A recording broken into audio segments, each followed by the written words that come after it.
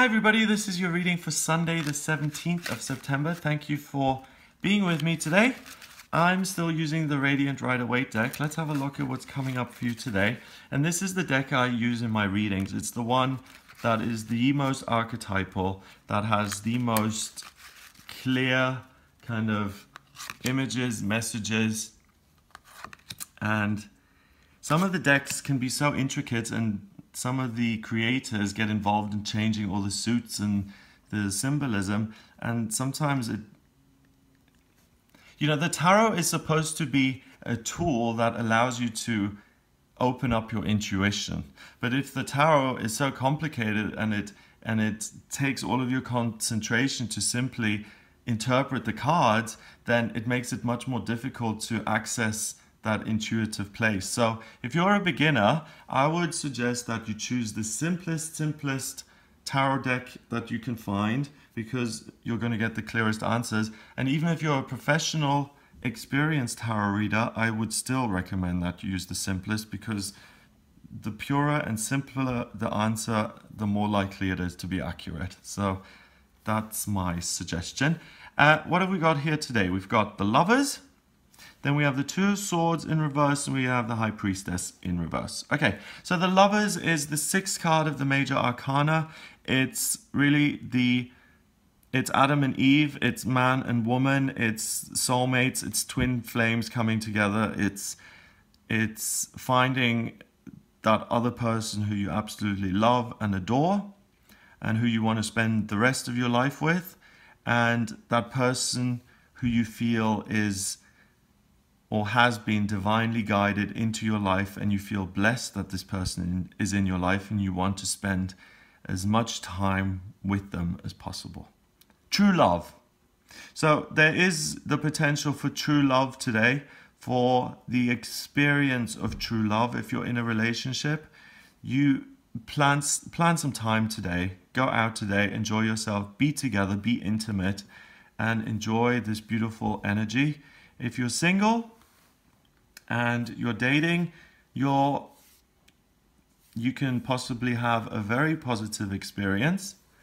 Um, and even if you're in a relationship that isn't doing so well, you can really go back to why you got together in the first place anyway, what you loved about each other, and you can recapture that. The lovers also refers to things that we love. So if you discover a love for the piano today, and it feels right that at this point in your life you're supposed to learn the piano, then trust that and give yourself to that new love. It's meant to happen. Something loving comes into your life and adds something to your life. Your love life becomes richer today.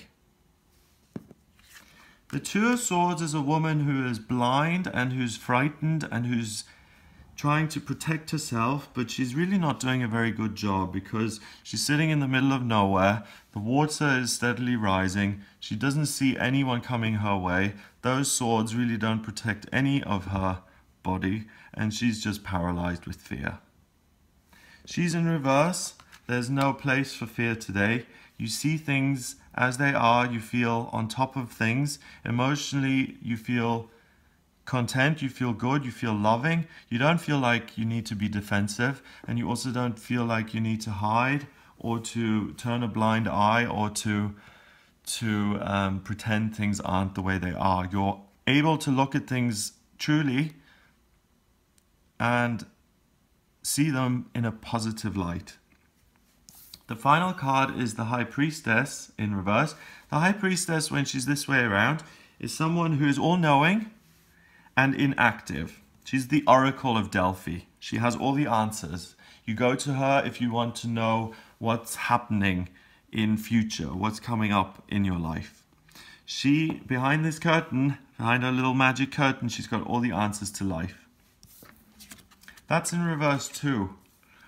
You're not meant to have all the answers for your life. You're not going to, when you meet this person or this thing that you love, you're not going to immediately be shown the next 30 years how your life is going to develop and how, when you're going to get married and um, when he's going to pop the question and what the ring will look like and if how many children you'll have. You're not going to be shown all of that today. Today it's step by step. You're given something wonderful and loving, but you're not given any guarantees or certainties with it. And I think that's understandable. I think that's relatable. You know, you meet someone, you're very interested in them, you you want to get to know them more. You have no guarantee that that person is going to like you back, that that person isn't going to reject you, or that that person is going to fall in love with you. You have no guarantee of that. It's a blessing and it's something that you don't have any control over, really. You have control over the fact that you can put yourself out there but you don't have control over someone falling in love with you. That's something that happens through the divine. And that's why it's so important to get out of our own way sometimes. Because it's it's something that we simply have no control over. And if you stomp and get angry that you know you deserve a partner at this point in your life and why have you still not got it then look at that sense of entitlement and look at that sense of why would I need this and why do I demand it and why do I feel like I've not been treated fairly? Because all of those things are going to slow down the process and because you're so wrapped up in all of that going on, even if something did come into your life, you'd probably be too preoccupied to actually notice it. So look at this day without demanding that you have all the answers immediately and that you're being handed things with a guarantee and a seven year warranty and a stamp of approval on them.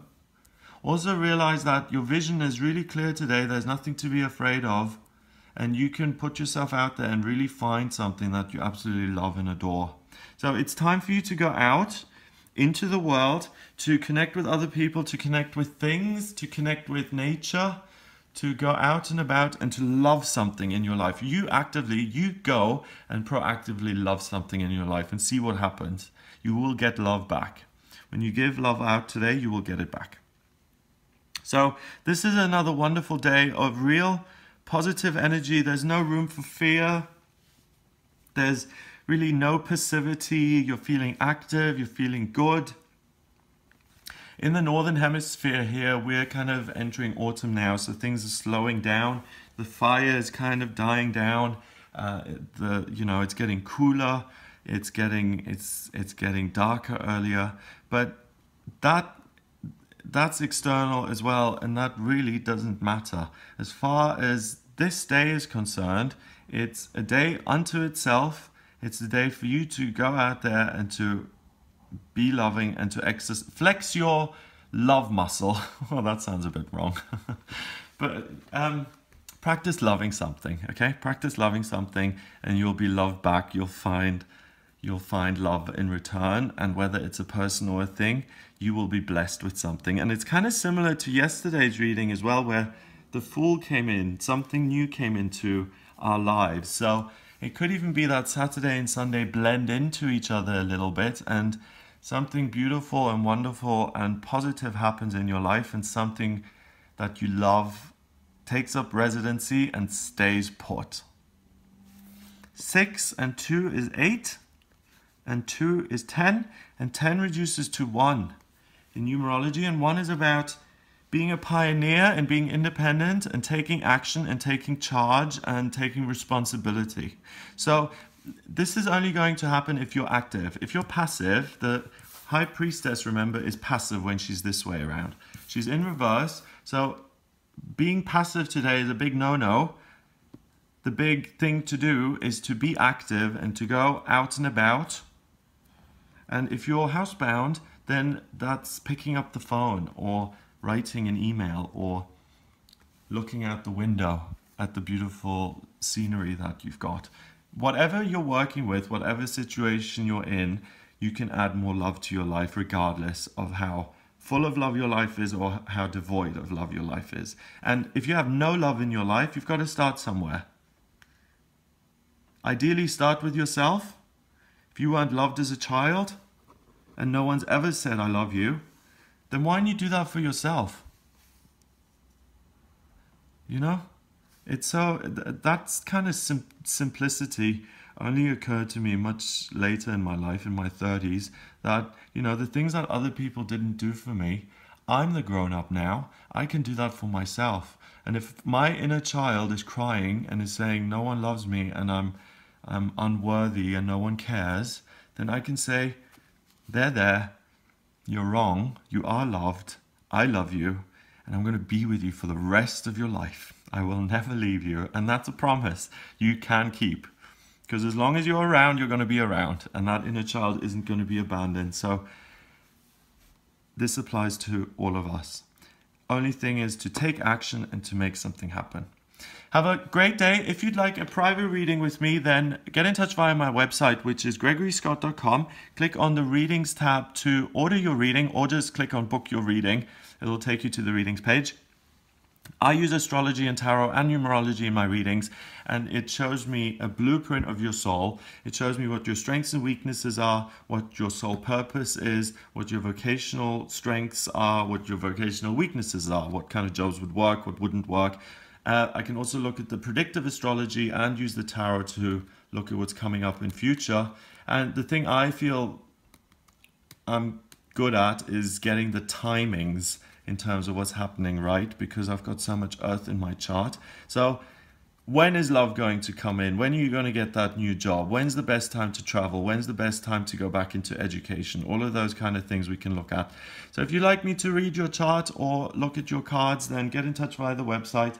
If you like my videos, then please subscribe to this channel and I'll speak to you tomorrow.